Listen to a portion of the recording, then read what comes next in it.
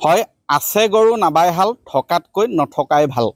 অসমীয়াই এই প্ৰবচন ফাঁকি খাটিছে শিৱসাগৰৰ এটা দুগ্ধ শীতলীকৰণ কেন্দ্ৰৰ ক্ষেত্ৰত। অসম চৰকাৰৰ দুগ্ধ উন্নয়ন বিভাগ মই দেখুৱাইছোঁ প্ৰথমে এখন চাইনবোৰ্ড এই যিখন চাইনবোৰ্ড দেখিছে এই ইয়াত অসম চৰকাৰৰ দুগ্ধ উন্নয়ন বিভাগৰ শিৱসাগৰৰ জয়সাগৰত বৰপুখুৰী পাৰত থকা এইটো শীতলীকৰণ দুগ্ধ শীতলীকৰণ কেন্দ্ৰ। অসম চৰকাৰৰ অধীন এই কেন্দ্ৰটো। কিন্তু অতি পৰিতাপৰ বিষয় যে এই দুগ্ধ উন্নয়ন দুগ্ধ উন্নয়ন বিভাগৰ এই দুগ্ধ শীতলীকৰণ কেন্দ্ৰটো বিগত বহু বছৰ ধৰি অচল হৈ আছে। ইয়াত কোনো ইয়াত গৰু গাখীৰ ইয়াত উৎপাদনৰ বাবে কোনো ব্যৱস্থা নাই। গৰু গা পালনৰ বাবে কোনো ধৰণৰ ব্যৱস্থা নাই।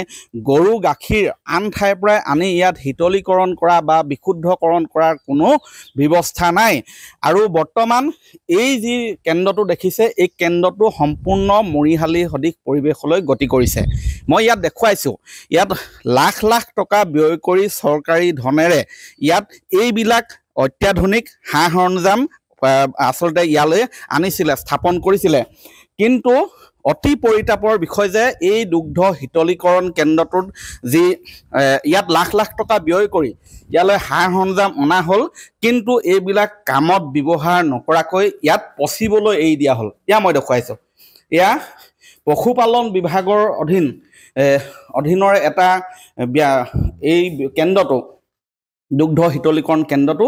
কিন্তু ইয়াত বৰ্তমান এই পৰিৱেশ এইটো হৈছে দুগ্ধ শীতলীকৰণ কেন্দ্ৰৰ এটা অত্যাধুনিক ইয়াত মেচিন বহুৱাইছিলে।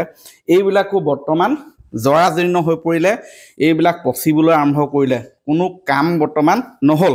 ইয়াৰ এই কেন্দ্ৰটোত মাত্ৰ বৰ্তমান আছে এগৰাকী কৰ্মচাৰী। মই তেওঁৰ সৈতে কথা পাতিম। দাদা আপুনি ইয়ালৈ অহা কেইবছৰ হ'ল। মই অহাৰ ছয় বছৰ হৈ গৈ- হ'ল আৰু। নামটো? ৰাজেন শৰ্মা। নাম নামটো? ৰাজেন শৰ্মা। হয় এইটো কি কাৰণে ইয়াত কেন্দ্ৰটো স্থাপন কৰিছিলে? কিবা এইটো আমাৰ শীতলীকৰণ কেন্দ্ৰ আছিলে দুগ্ধ।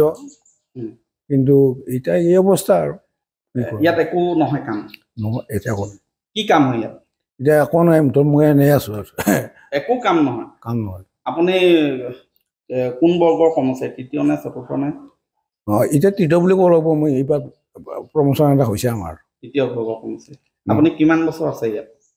আৰু আৰু তিনি বছৰমান থাকিম। নহয় ইয়াত অলৰেডি কিমান বছৰ আছে?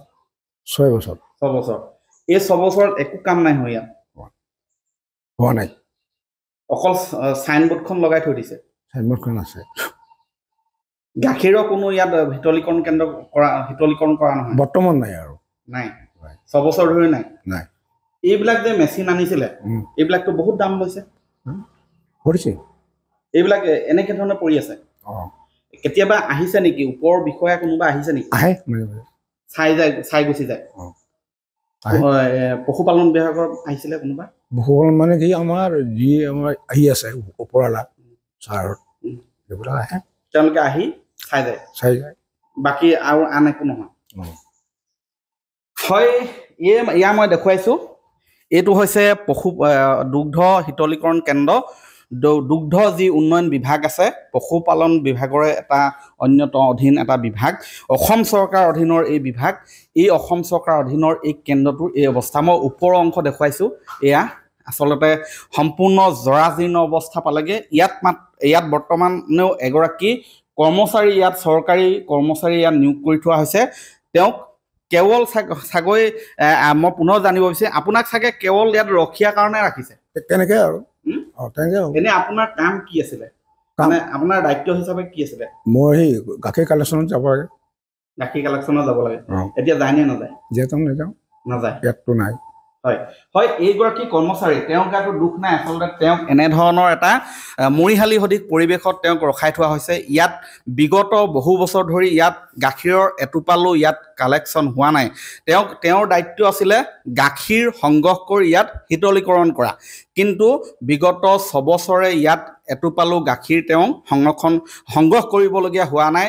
শীতলীকৰণৰ বাবে। কাৰণ তেনেধৰণৰ কোনো কামেই ইয়াত হোৱা নাই ওপৰৰ বিষয়ববীয়া আহে চাই যায় কিন্তু গুচি যায়। আৰু এই ধৰণেই চলিছে আচলতে এটা ব্যাগুম চৰকাৰী বিভাগ। লাখ লাখ টকা ৰাজহুৱা ধন অপচয় কৰা হৈছে কৰ্মচাৰীৰ নামত ধন অপচয় কৰা হৈছে কিন্তু উৎপাদনমুখী কোনো কামেই নহয়। অনাগত সময়ত লক্ষণীয় হ'ব এই শীতলীকৰণ কেন্দ্ৰটো পুনৰ উজ্জীৱিতকৰণ কৰিব নে এনেধৰণে সম্পূৰ্ণ ধ্বংসৰ গৰাহলৈ ঠেলি দিব?